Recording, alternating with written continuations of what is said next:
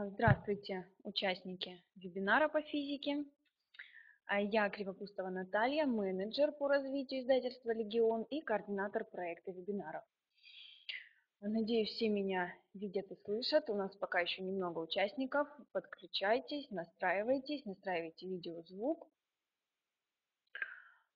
А, я вам пока расскажу, что сегодня у нас проходит вебинар по теме методика подготовки учащихся по всем видам контроля и аттестации по физике с учетом ошибок, а, допущенных в ходе ЕГЭ.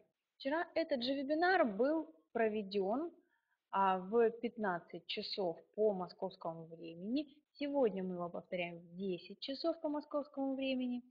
Это все для удобства, для вашего участия, для различных часовых поясов в этом учебном году это единственная возможность у вас выбрать для себя удобное время. В следующем учебном году, конечно, этого уже не будет. Следующий вебинар у нас по физике будет методика подготовки учащихся по всем видам контроля и аттестации по физике с учетом наиболее характерных ошибок, допущенных в ходе ГИА. Эти вебинары у нас пройдут 21 марта в 15.00 и 22 марта в 10.00. Время московское. А, вебинары наши нацелены на помощь учителям в подготовке учащихся к итоговой аттестации. Они помогут вам найти новые идеи мониторинга и контроля успеваемости и пути и способы решения задач. А, всю информацию о наших вебинарах по различным предметам, не только по физике, можете найти а, на нашем сайте www.legionr.ru. Мы напишем его для вас в чате. В разделе «Деятельность», «Семинары и вебинары». Также именно там вы можете скачать материалы к этому вебинару и позже видеозапись вебинара. Вот. Все вопросы, которые у вас возникнут, можно обсудить в чате этого вебинара, либо написать на наши электронные почты. Прошу вас а, заявочки оформлять корректно, чтобы вы имели возможность действительно побывать на этом вебинаре. И еще одна просьба, напишите, пожалуйста, в чате, откуда вы узнали о наших вебинарах. Вот. Ну и сейчас представлю вам нашего автора. Это Лев Михайлович Монастырский, кандидат физико-математических наук, профессор кафедры общей физики Южного федерального университета, профессор Российской академии естествознания, заслуженный работник науки и образования Российской академии естествознания, руководитель предметной а, группы по физике издательства «Легион», имеет опыт работы в лицее номер один при РГУ, ныне ЮФУ, в качестве учителя физики и является одним из организаторов муниципального и областного этапов Олимпиад по физике. Этот опыт нашел отражение в книге «Физика. Сборник олимпиадных задач для 8-11 класса». Ну, пожалуйста, Олег Михайлович.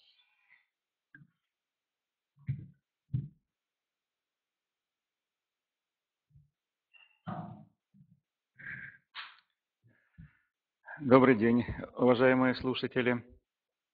Я очень рад, что вы участвуете в нашем семинаре и надеюсь на то, что это участие будет активное. То есть я думаю, что в ходе моего выступления у вас могут появиться какие-то вопросы, которые вы можете задать нам, и в конце я постараюсь ответить на то, что мы увидим у нас здесь на экране.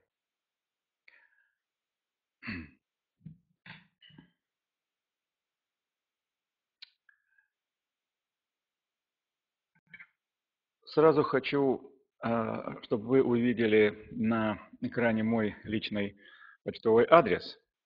Внизу написан. Если у вас а, после выступления, в другие дни, последующие, появятся какие-то вопросы, какие-то пожелания или замечания, то я с удовольствием их выслушаю и отвечу на те вопросы, которые у вас могут появиться. Пожалуйста, э, активно пользуйтесь такой возможностью. Ну а теперь перейдем непосредственно к, к нашему семинару. Я хочу сказать, что я прекрасно понимаю те проблемы, которые стоят перед учителями физики, особенно в 11 классе. И хочу сразу сказать, что, наверное, вы от меня ждете каких-то э, рекомендаций, как очень сильно поднять тот балл итоговый, который получают ваши выпускники в ходе сдачи экзамена ЕГЭ. Ну, с другой стороны, мне кажется, что сама постановка вопроса, как готовить к ЕГЭ, на мой взгляд, является не совсем правильной. Мое личное мнение состоит в том, что вообще говоря, надо готовить не просто к сдаче экзамена в форме ЕГЭ, повторяю, в форме ЕГЭ, а нужно готовить к итоговой аттестации.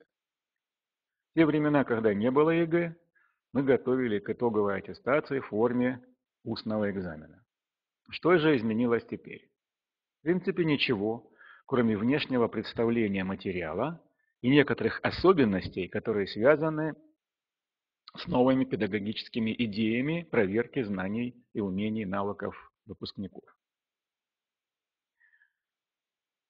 Понятно, что когда у вас два урока в неделю физики, имеется в виду непрофильные классы, а в 11 классе надо еще и не забывать, что у вас безумно сложный новый материал.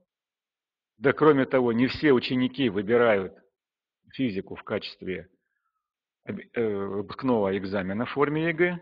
Возникает масса проблем, что же делать в такой ситуации. Обязательно ли к ученикам или ученикам обращаться к репетиторам? Конечно, одно из решений – это личностно ориентированное образование, тем более, что, вообще-то говоря, теоретический вопрос уже давно решен.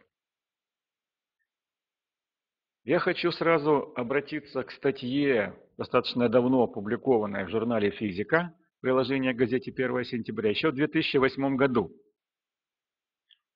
Один из авторов, Демидова, э, который отвечает ФИПИ за физику, э, написала такую фразу.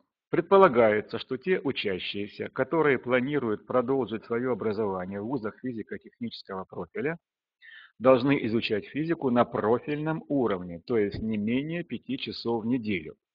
То есть здесь совершенно четко показано, что если вы хотите сдать нормально экзамен по физике в форме ЕГЭ, надо иметь не менее 5 часов в неделю. Ну, давайте мы оставим это высказывание на, фор... на совести автора. А что же делать нам с вами, когда у нас два часа в неделю? Я хочу сказать, что говоря об анализе ошибок, которые допускают учащиеся, сдавая экзамен в форме ЕГЭ, надо иметь в виду одну очень простую вещь. На самом деле простой смертный не имеет допуска к результатам ЕГЭ, кроме аналитических отчетов. То есть единственный официальный источник э, этой информации – это аналитические отчеты. Мы проанализировали эти отчеты за много лет. И можно сказать, что э, такая картина наблюдается практически каждый год. Значит, есть выпускники, первая часть, которые набирают до 62 баллов. Это уровень умений, знаний достаточно для того, чтобы пройти аттестацию по курсу физики базового уровня. Так называемая школьная компонента. Выпускники, которые набирают свыше 62 баллов, они, вообще говоря, готовы к успешному продолжению образования в высших учебных заведениях.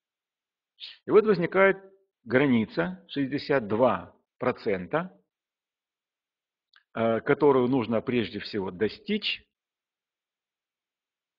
для этого нужно, чтобы у них была э, какая-то системность знаний основных законов и формул.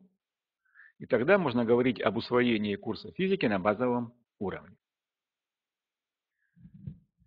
А второй этап – как перейти эту границу. Дело в том, что у нас есть еще второй источник ошибок, это опыт, который приобретен при ручной проверке части С. Э, я много лет участвовал в э, такой ручной проверке, и у меня накопились свои представления о том, э, какие ошибки допускаются в среднем, как их избегать и что нужно делать для того, чтобы все-таки какое-то число баллов получать при решении этой третьей части заданий. С чего же начинать при подготовке к ЕГЭ? Ну, скажем, в 10 или в 11 классе это не столь важно. Как правило, подготовка к ЕГЭ в основном начинается все-таки в 11 классе. И вот опыт общения с абитуриентами и с первокурсниками, которые уже, кстати, сдали ЕГЭ и поступили высшее учебное заведение,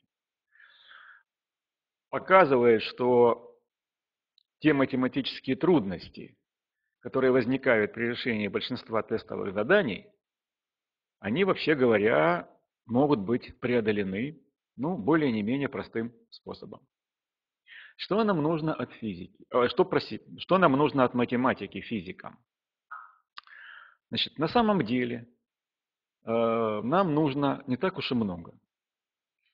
Ну, например, решение прямоугольных треугольников, я имею в виду тригонометрические функции, действия с векторами, сложение вычитания проекции вектора на оси, решение уравнений с одним, э, системы уравнений с двумя неизвестными и виды зависимостей, умение работать с этими зависимостями. Вот, пожалуй, тот исходный математический аппарат, который должен быть четко освоен для того, чтобы можно было переходить к изучению физики.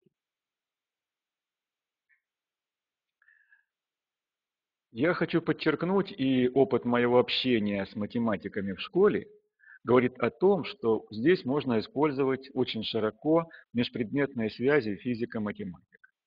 Желательно на уроках математики как можно больше в качестве иллюстраций использовать физические задачи.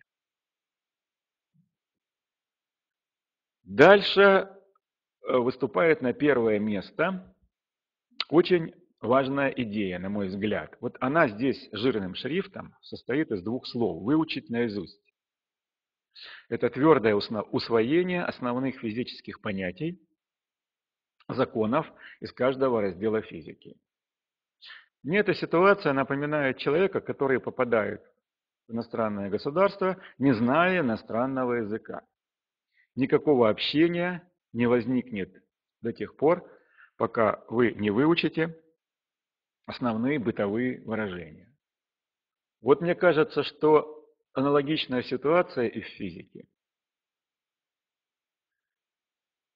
Я достаточно часто да и вы тоже, наверное, считаете, что на первом месте должно стоять понимание, а умение придет потом. На мой взгляд, надо немножко обратить эту ситуацию. Последовательность должна быть такая. Знание, умение, навыки. То, что называли зунами. На наш взгляд, если ученик выучил наизусть, я подчеркиваю слово «наизусть», основные физические понятия, по крайней мере, можно с ним начинать что-то обсуждать. То есть учитель и ученик начинают разговаривать на одном физическом языке. До этого процесс обучения неэффективен и бессмыслен. Я думаю, что многие ну, репетиторы в том числе тоже опускают этот момент очень важный. Я имею в виду два этих блока. Первый блок – это блок, то, что я называю математика для физики. И второй блок – это основные физические понятия. Если это усвоено, можно двигаться дальше. Без этого, просто повторяю, дальнейший процесс неэффективен и бессмыслен. Он может привести к автоматическому заучиванию, какого-то решения какого-то ограниченного числа задач, и на этом все закончится.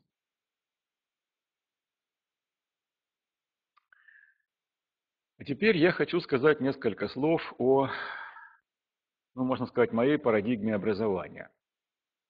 Я с этой парадигмой выступал несколько раз перед учителями в разных городах. В прошлом году выступал э, перед учителями на московском фестивале учителей физики. эти идеи вызывали большие споры, и мне кажется, что эти споры связаны прежде всего с тем, что нас учили, меня в том числе, не так, как я предлагаю учить сейчас наших учеников. Мы должны думать о будущем наших учеников, то есть о будущем нашего государства. Нам не нужен обезьяний мартышкин труд. Нам нужны люди, которые умеют творчески думать и творчески решать, ставить проблемы. И вот в этом плане я хочу дать только некоторые наметки, некоторые идеи, как же создать эту единую, естественно, научную картину отражающего нас мира. Я прекрасно понимаю, что то, что я буду говорить, это относится в первую очередь к учителям. Я думаю, что вы прекрасно понимаете, что нельзя поведение любого реального физического объекта описать с помощью физических законов. Очень много случайных факторов оказывает влияние на это поведение, и учесть их невозможно. Тогда возникает вопрос, что делать?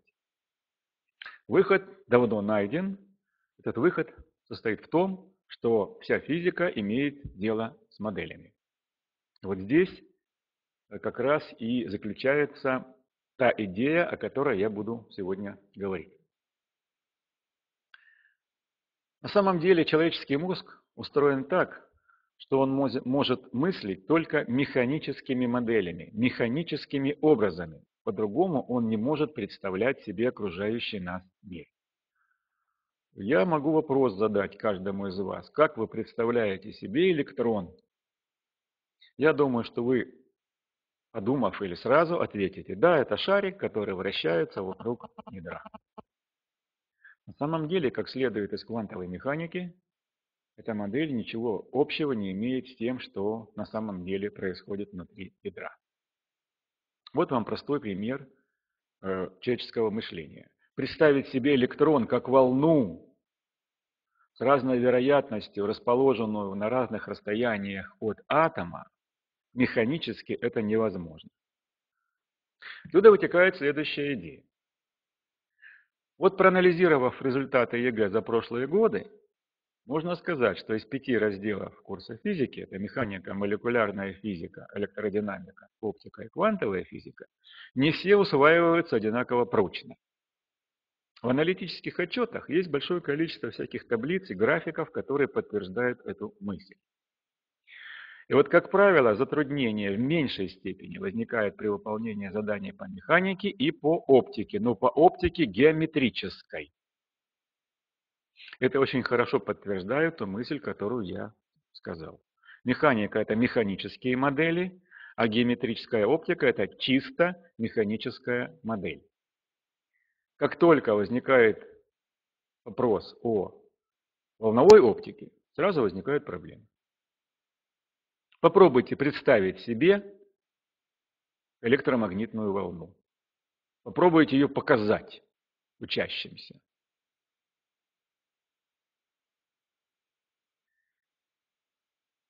Вот простой пример. Вопрос, является ли Земля материальной точкой, вообще говоря, это уже вопрос, который требует точного понятия, что такое модель.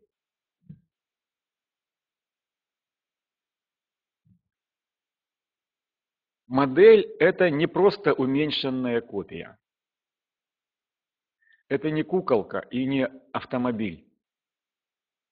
Это совершенно другое представление, которое позволяет нам сделать одну простую вещь. Упростить реальный процесс до тех пор, пока мы сможем применить физические законы для его описания. Давайте обратимся к механике. Здесь э, некоторая схема в кружочках, которую можно осмотреть сначала слева направо, а потом справа налево. Что является первичным? Это извечный вопрос, на которые физики отвечают следующим образом. Первично взаимодействие. Мы знаем четыре фундаментальных взаимодействия. Гравитационное, электромагнитное, сильное и слабое. Ну, сильное и слабое нас сейчас не интересует. Нас интересует два вида фундаментальных взаимодействий. Гравитационное и электромагнитное. Что такое сила? Это количественная мера взаимодействия. Значит, я утверждаю, вот тут надо очень внимательно сосредоточиться и послушать то, что я буду сейчас говорить. Сила – результат взаимодействия. Значит, если мы хотим посчитать, сколько штук сил действует на тело, то мы должны посмотреть, с какими телами взаимодействует данное тело. Пока остановимся на этих первых двух кружочках. Дальше следует из второго закона Ньютона. Ускорение – это результат появления нескомпенсированной силы. Если все силы скомпенсированы, ускорение равно нулю. Как мы знаем, два варианта возможны. Либо тело покоится, либо движется равномерно и прямолинейно.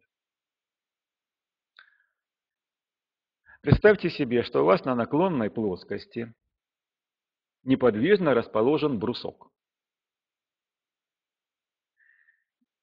Сколько штук сил действует на него? Я нарисовал картинку, которую, я думаю, нарисует каждый из вас, не сомневаясь ни чуть, что я только что говорил совершенно о другом. Еще раз обращаемся к кружочкам. Взаимодействие – сила. С какими телами взаимодействует брусок? Земля – раз, наклонная плоскость – два. Взаимодействие – два, Сколько должно быть сил? Две. Здесь три. Это противоречит нашей концепции сила – результат взаимодействия. На самом деле, поскольку брусок покоится, то на него действуют две силы, которые должны друг друга уравновешивать. Сила тяжести направлена вниз – Значит, нисколько не сомневаясь, мы можем направить вверх силу R, такую же по модулю, противоположную по направлению, и говорить, что на тело действуют две силы, отвечающие двум взаимодействиям. Сила тяжести, отвечающая гравитационному взаимодействию Землей, а R – это сила, отвечающая взаимодействию с наклонной плоскостью. Какому? Идет речь не о гравитационном взаимодействии, а об электромагнитном. Пока никаких моделей здесь нет. Есть взаимодействие, реальное взаимодействие, есть две реальных силы. Дальше мы начинаем прикладывать эту идею к решению задач. И мы вводим модель. Вот я обращаю внимание, вот на этом этапе, вот сейчас – мы вводим модель, которая состоит в том, что мы препарируем эту нашу силу на две составляющие. Одна из них перпендикулярна наклонной плоскости, это сила n, то, что мы называем силой упругой реакции наклонной плоскости.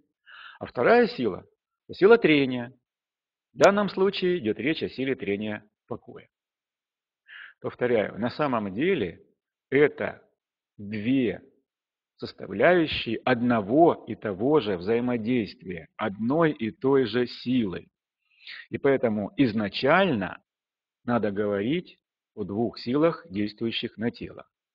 Ради интереса я вам могу дать такое домашнее задание. Попробуйте изобразить в этой модели силы, приложенные к телу, которые движутся горизонтально под действием некоторой внешней силы F.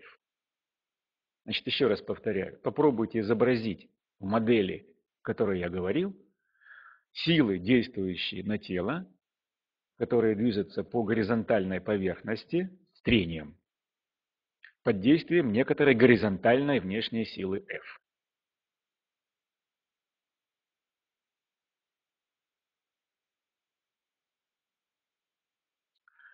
Для того, чтобы объяснить природу вот этого самого взаимодействия, которое мы называем взаимодействие с наклонной плоскости, надо понимать, что оно носит характер электромагнитного взаимодействия. А говорить в курсе школьной физики, наверное, об этом рано. И тогда возникает модель, которую я называю на языке домохозяйки зацепление неровности на поверхности соприкасающихся тел, так называемой шероховатости. Вот это, повторяю опять, это модель, которая позволяет механическим образом, механическим образом объяснить наличие силы трения покоя или силы трения скольжения. Теперь обратимся к законам сохранения энергии импульса. И сразу хочу сказать, что я сейчас начинаю развивать идею решения задач высокого уровня сложности. Когда вы решаете с вашими учениками задачи уровня С, надо понимать, что вы решаете не конкретную задачу, хотя вы решаете конкретную задачу, но вы показываете методику решения вообще физических задач.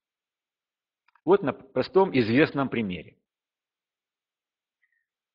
На подвесе длиной L висит брусок, масса m большое. Слева горизонтально летит пуля массы m с некоторой скоростью v нулевое. Ударяет в брусок, и брусок вместе с пулей поднимаются на некоторую высоту h. Можно найти начальную скорость пули.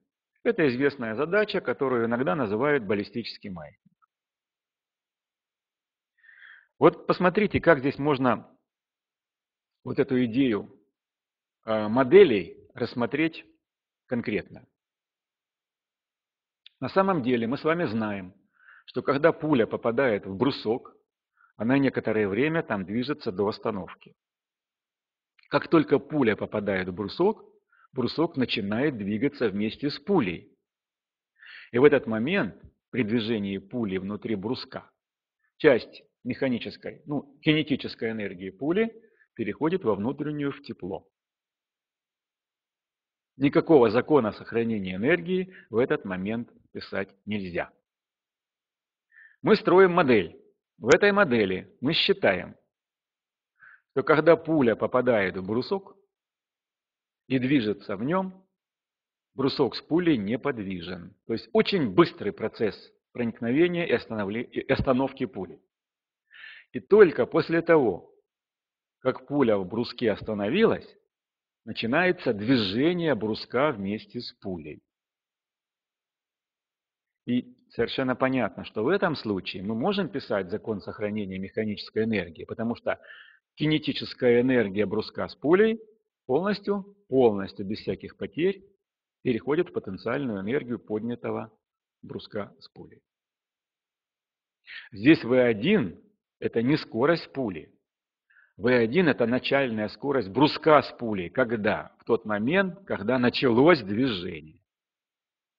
А связь между V1 и V0 мы можем найти с помощью закона сохранения импульса. Потому что силы, которые являются там силами трения, они не меняют закон сохранения импульса. Таким образом, найдя скорость V1 по закону сохранения импульса, мы можем найти скорость V0. Вот очень часто вот формальная вот такая запись, которую я здесь сделал, плюс закон сохранения импульса, оставляют за пределами понятия физики, понятия модели. То, о чем я говорил в самом начале.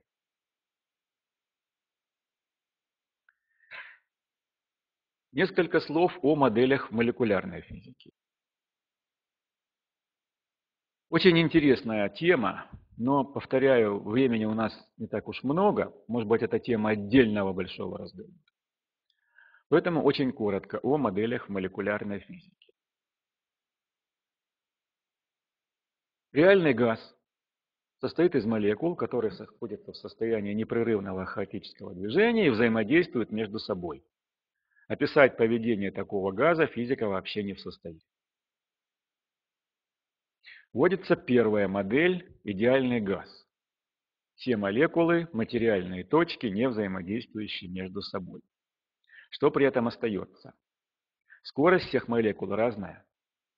Она меняется от нуля, ну, теоретически до бесконечности. Такую модель тоже не может описать в рамках э, классической механики физика. Возникает следующая модель. Все молекулы идеального газа движутся с одной и той же средней скоростью. Спрашивается, а зачем нам средняя скорость? Почему именно средняя скорость? А как оказывается, можно сделать вывод, что с этой характеристикой средней скорости связана некоторая коллективная характеристика газа, которую мы называем параметр. Давление – это некоторый коллективный, повторяю, коллективный параметр. Он характеризует как бы весь газ, не вдаваясь в его внутреннее строение. А с другой стороны, давление связано с индивидуальной характеристикой молекулы. Но какой? Оказывается, со средней скоростью. Или, вернее, с квадратом, средним квадратом скорости. Именно поэтому мы применяем такую модель.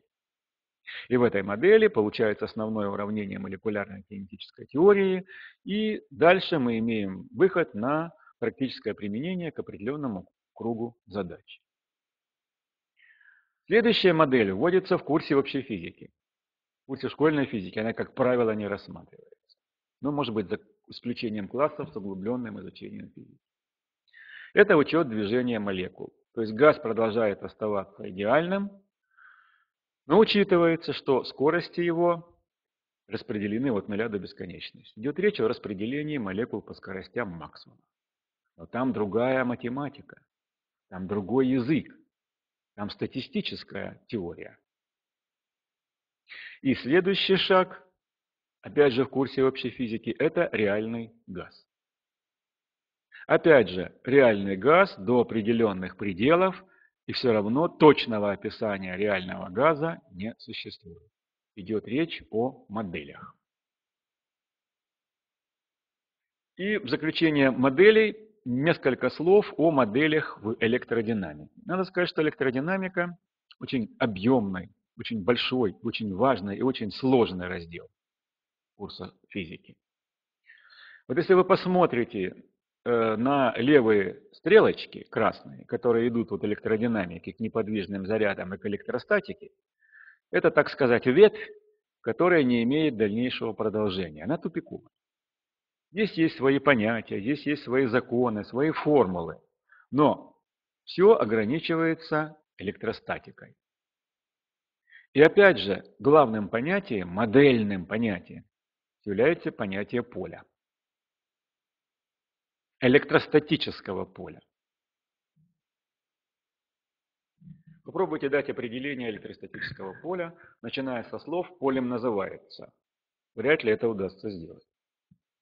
Фактически такого определения нет. На самом деле, для того, чтобы дать понятие поля, надо его свойства сообщить. Два свойства. Источником поля являются неподвижные электрические заряды, то есть они возникают, поле возникает вокруг неподвижных электрических зарядов. И поле действует на неподвижные электрические заряды. Это принципиально важный момент для понимания возникновения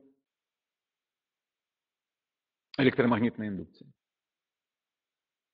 Поле электростатическое действует на неподвижные заряды или электрическое действует на неподвижные заряды. Ну, вообще говоря, поле – это особый вид материи. Мы говорим о модели, но оно реально. Оно обладает массой, оно обладает энергией, оно обладает импульсом. Это реальный физический объект. Но представить себе его в механической модели невозможно. Пойдем теперь вправо. Движущиеся заряды. Здесь возникает два, опять э, две линии. Одна линия – это постоянный ток, когда заряды движутся с постоянной скоростью следствие магнитостатика, которая опять не имеет продолжения. Со своими законами, со своими формулами. А вот правая часть, переменный ток, это ускоренно движущиеся заряды. Здесь возникает и переменное электрическое поле, и связанное с ним переменное магнитное поле, которые вместе объединяются в электромагнитное поле. Вот фактически здесь скелет всей электродинамики в модельном представлении, о котором я говорил.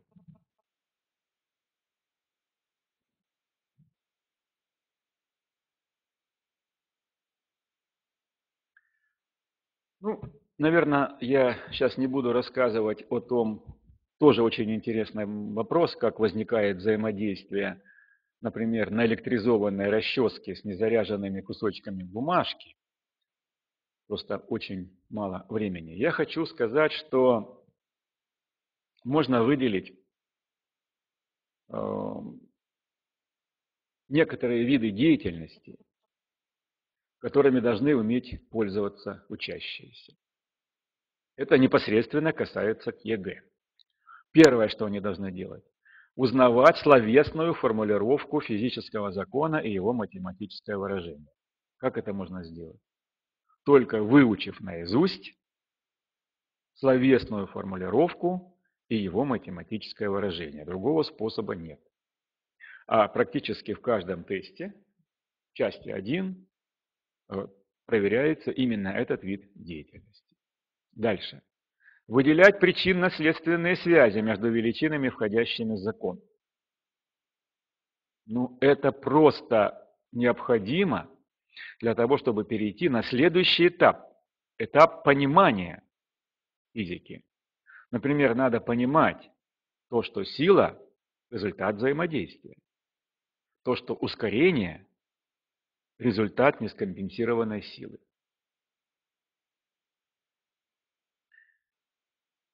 Различать графическую интерпретацию зависимости величин, входящих в закон. Это математическая, как раз вот та ситуация, о которой я говорил. Определять физический смысл, постоянной входящей в формулировку закона. Ну вот это тоже очень важный момент, потому что многие физические законы имеют различные физические постоянные, смысл которых, вообще говоря, надо знать. Что касается части С.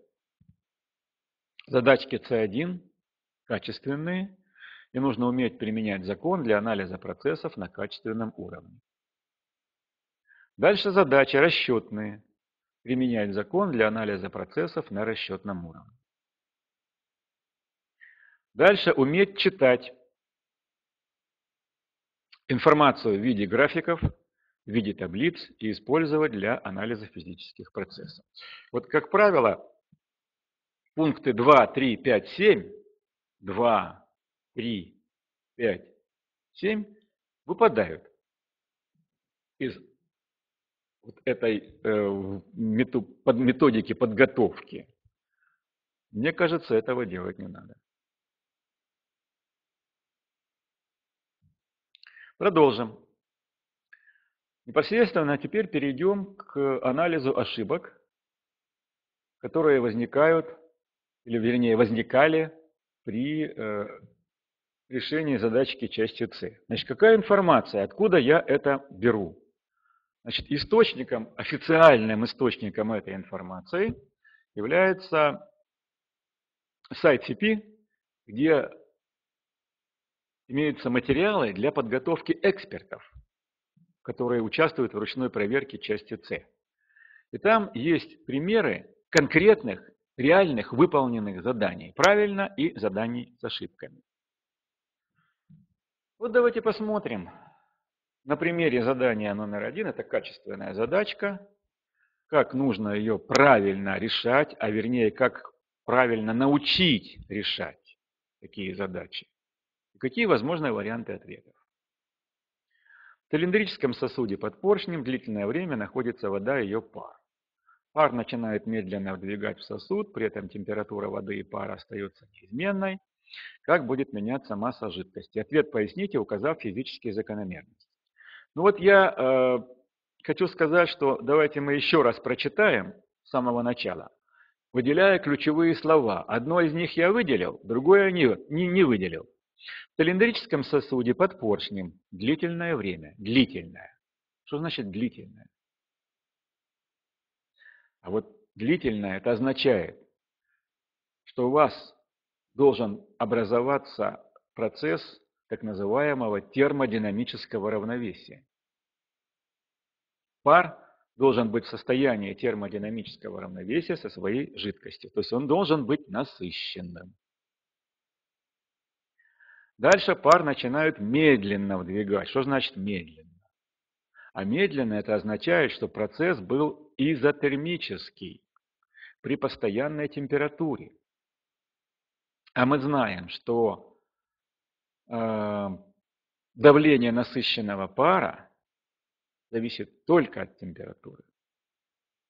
Вот предлагается возможный вариант ответа. Масса жидкости в сосуде будет увеличиваться. Вода и водяной пар находятся в закрытом сосуде длительное время, поэтому водяной пар является насыщенным.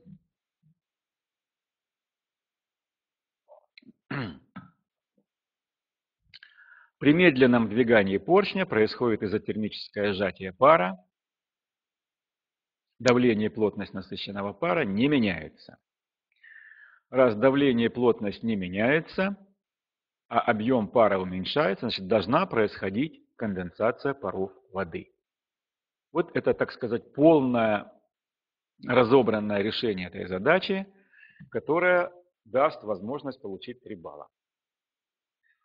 Реальные ответы. Пример, за который выставили 2 балла. Масса жидкости в сосуде будет увеличиваться. Да. Так как при уменьшении объема насыщенного пара часть пара переходит в жидкость. Да. Почему 2 балла?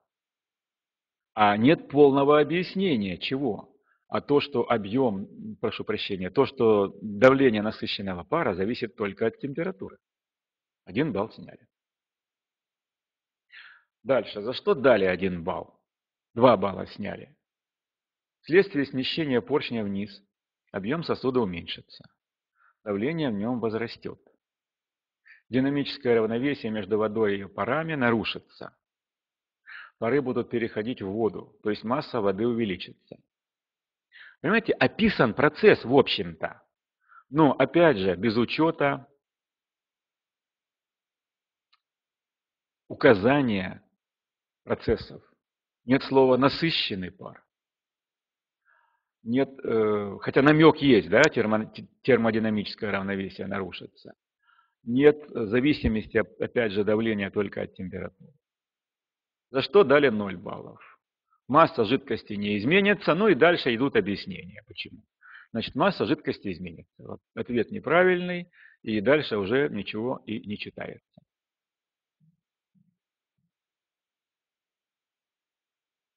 Очень важная задача тоже качественная.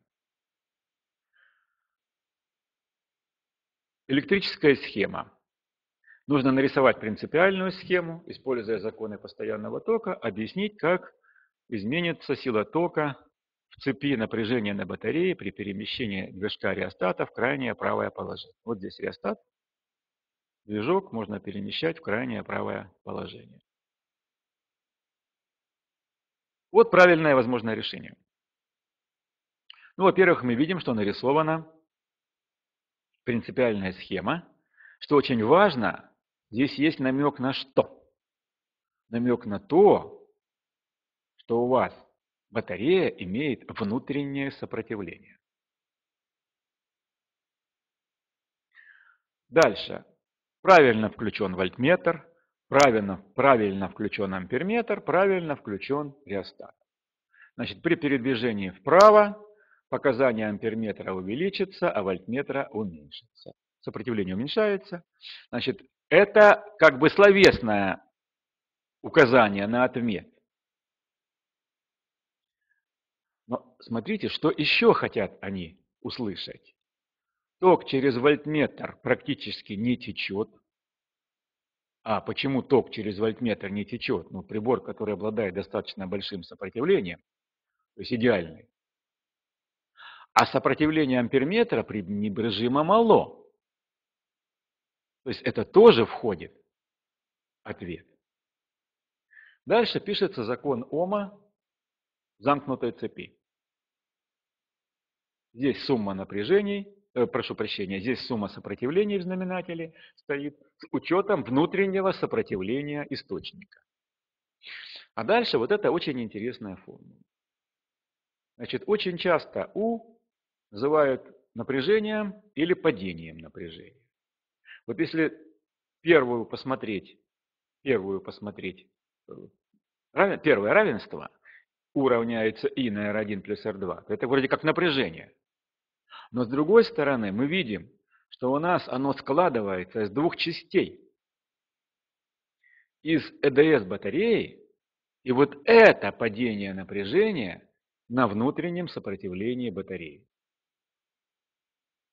И теперь ясно, что мы перемещаем движок реостата вправо, его сопротивление уменьшается, полное сопротивление уменьшается, сила тока растет, и напряжение на батарее уменьшается. Идет речь не о, ОДС, конечно, а о напряжении на батарее. Один из вариантов ответа, за который дали 2 балла. Все прекрасно, все решено, все правильно. Но неверно включен реостат в цепь. Видите? Реостат в цепь включен неверно. И, естественно, сняли один балл. Хотя, повторяю, решение было правильно, но там в условии было написано нарисовать схему. Ну, здесь э, другая ситуация. Смотрите, вот сейчас я на секундочку отвлекусь, скажу несколько слов о том, что я думаю по этому поводу. Принимая участие в ручном, ручной проверке части С, я обращал внимание, что большая часть учащихся часть С сдает в, чисто, в чистые листы по части С. Просто чистые листы. Это в корне неверно. Это принципиальная методическая ошибка и может быть в первую очередь учителя. Что нужно объяснять ученику? За каждый правильный ответ дается 3 балла. Но извините меня, кроме 3 баллов есть еще 2 балла и 1 балл. Представьте себе, вы на каждом из С набрали по одному баллу. Вы набрали 6 баллов. А если вы их не написали, эти ваши варианты решений, вы ничего не набрали. За что дали один балл? Часть решена задача. Приведена верная схема электрическая. Ответ неверен. И ученик, может быть, испугавшись э, того, что он не понимает или не знает, вообще ничего не нарисует. Но этот не испугался. Он нарисовал верную схему и, пожалуйста, получил один балл.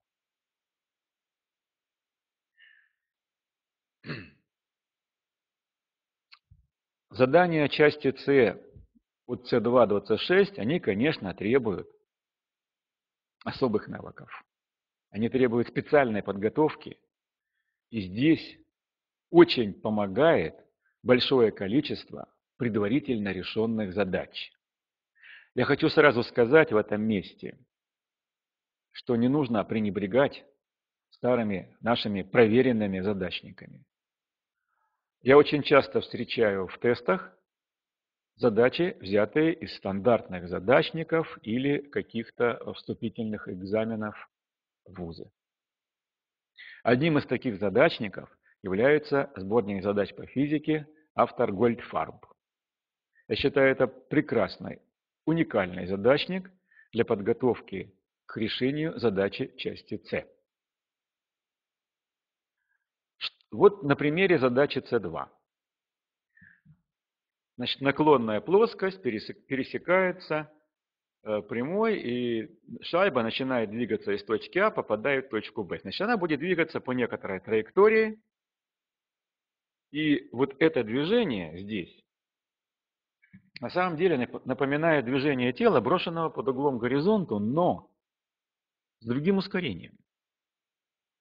То есть вы можете воспользоваться известной формулой для максимальной дальности полета, прям готовой формула, максимальная дальность полета. Только надо понять, что у вас теперь будет действовать не G, а проекция g, g синус альфа. И подставив в ту формулу не g, а g синус альфа, вы мгновенно получаете ответ и получаете заветные 3 балла. Но повторяю, если вы четко знаете стандартное решение задачи движения тела, брошенного под углом горизонта.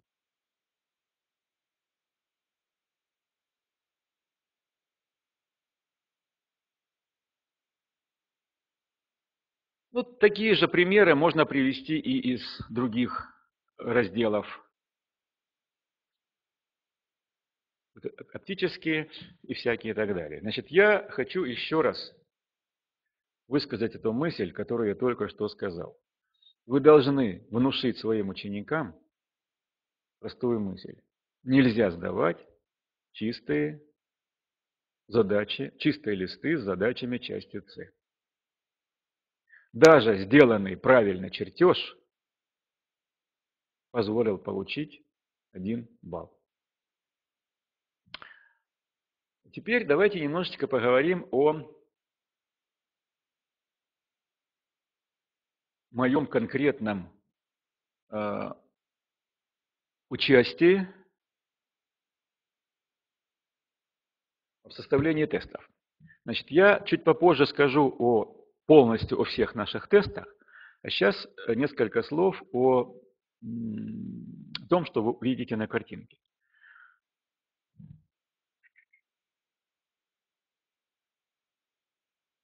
Все нормально. Как именно? А, значит, э, несколько слов предварительных. Значит, наше издательство является э, центром, который проводит тестирование некоммерческое тестирование учащихся, э, ну, в принципе, России. И недавно э, я тут составил тесты для проверки знаний учащихся одной из школ города Ростова. Правда, не очень большая выборка, 11 человек было, но получился очень поучающий, поучительный результат. Обращаю внимание, А1 – 3%. Казалось бы, 3%. А, а почему 3%? Сейчас хочу сказать о наших тестах. Это тесты были составлены нами. Мы стараемся составить тесты, чтобы они не просто давали возможность выбрать правильный ответ сразу, а чтобы надо было из нескольких подобных ответов выбирать правильный. Вот я когда говорил об обезьяньей работе, именно как раз об этом я сейчас и хочу сказать. Надо уметь воспитывать на тестах умение логически мыслить. Я приведу пример этого задания А1. Очень простой вопрос. Является ли движение по окружности равномерным? Что вы ответите? Является ли движение по окружности равномерным? Нет. Конечно, нет. Но извините, здесь есть варианты, которые все правдоподобны. Ответ такой. Является ли движение по окружности равномерным? Да, если скорость постоянно по модулю. Да, если нет центра стремительного ускорения. Да, если ускорение направлено по касательной к окружности. И четвертый – нет в любом случае. Очень часто говорят, что движение по окружности является равномерным, если скорость постоянно по модулю. Это, извините меня, глупость. У вас скорость в каждой точке меняется по направлению. Какое это равномерное движение? И вот на этом попались большое количество учеников. Только 3% ответили правильно. Дальше поразительный результат А6. Вообще ноль. Вопрос. Чему равен период колебания тела, масса n, если оно вращается по окружности радиусом 10 метров со скоростью 1 метр в секунду в квадрате? Казалось бы, какое колебание? Тело вращается по окружности. Но ведь мы-то понимаем, что это колебание. И что такое время одного полного оборота по окружности? Это как раз и есть период колебания а период колебания или время движения по окружности 2πr делить на v, то есть 6 секунд, вы посчитали. Ответ – нет, 0. 14.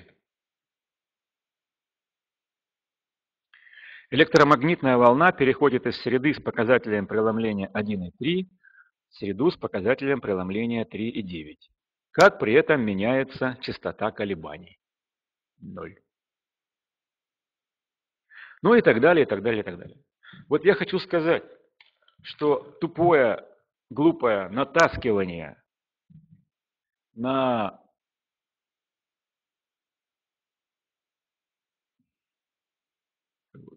тупое, глупое натаскивание на результат, используя еще и непонятно тесты какого происхождения, вообще говоря, не приводит к желательному результату. Теперь несколько слов о наших тестах. Значит, у нас э, тесты э, постоянно с каждым годом изменяются, модернизируются, улучшаются. Но я хочу сказать, что они каждый год составлены с полным учетом кодификаторов, спецификаций и демоверсий. Мы обязательно учитываем те изменения, которые вносятся каждый год в FIPI. И эти изменения четко просматриваются во всех наших тестах. Второе. У нас постоянно растет количество соавторов, принимающих участие в составлении тестов. Мы очень широкий круг соавторов привлекаем к участию в тестах. Это не только преподаватели высших учебных заведений, это и преподаватели школ, лицеев, колледжей и так далее. Это не только наш город Ростов, где находится издательство, но это очень широкая география Ростовской области и Краснодарского края. Привлечение большого количества авторов позволяет очень сильно разнообразить наши тесты. Как правило, вы не встретите повторений. И еще один очень важный момент. Мы стараемся полностью перекрывать всю программу курса школьной физики. Теперь непосредственно к нашим тестам в издательстве «Легион». Значит, пособие издательства «Легион» по физике можно разделить на несколько групп. Я буду сейчас говорить только о ЕГЭ, хотя здесь и ГИА включено, но это не важно. Значит, сборники тестовых заданий, тематические пособия, учебно-методические пособия для промежуточной аттестации, пособия для подготовки к олимпиадам и пособия для учителей и методистов. Надо сказать, что здесь не все эти пункты еще выполнены. Например, сейчас разрабатывается пособие для учителей и методистов, и оно, я надеюсь, в этом году увидит свет.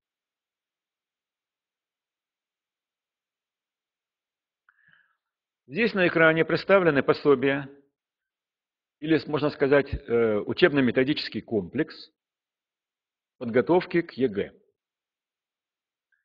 Непосредственно сама книжка, основная подготовка к ЕГЭ, решебник с полным решением практически всех, за исключением части Б, и тематические тесты, базовый и повышенный уровень, кроме части С.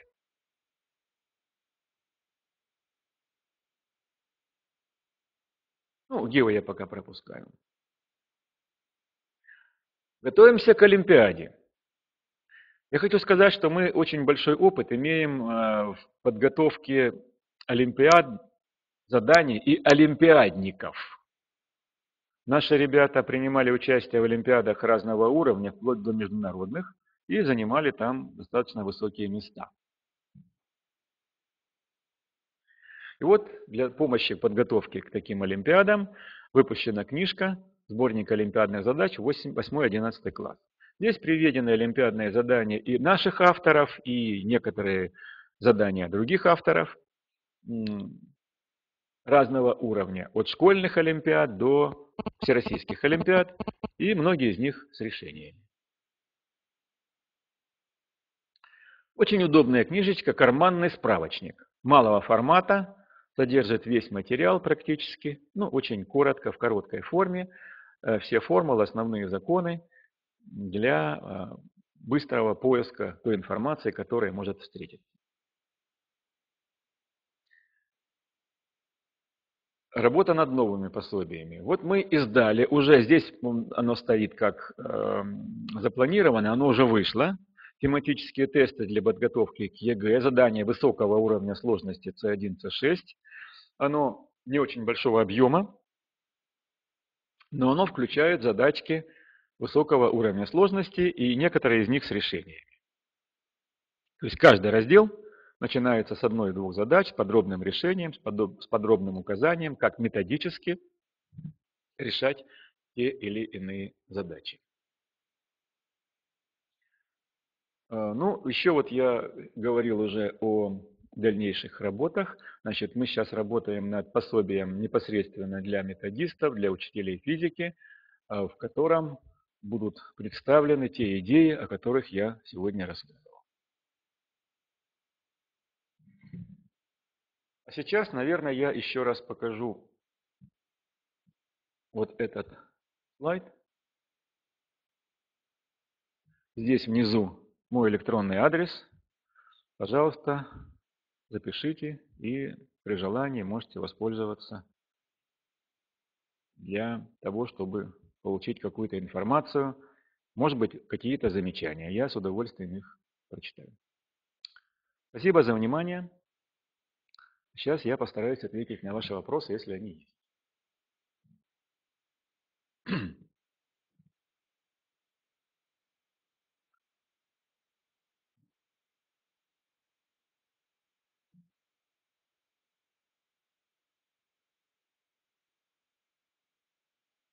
Таблицы не очень хорошо видно.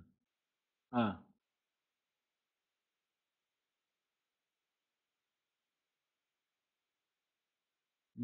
Подождем немножко.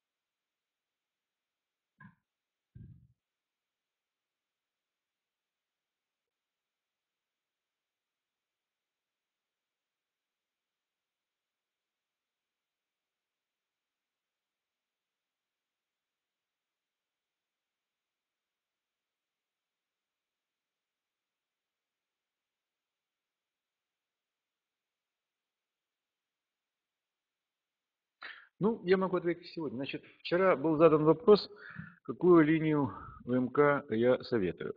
Значит, если говорить о 10-11 классе и о школьных учебниках физики, то там в списке, в федеральном списке учебников достаточно большие предметные линии, но мне кажется, что все-таки ближе всего к тому, что нам надо, это линия авторов Мякишева. 10-11 класс, автор Мякишев.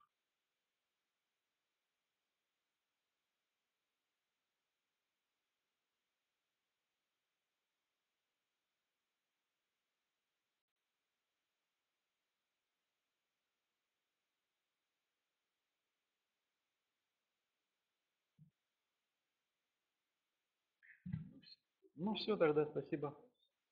До свидания.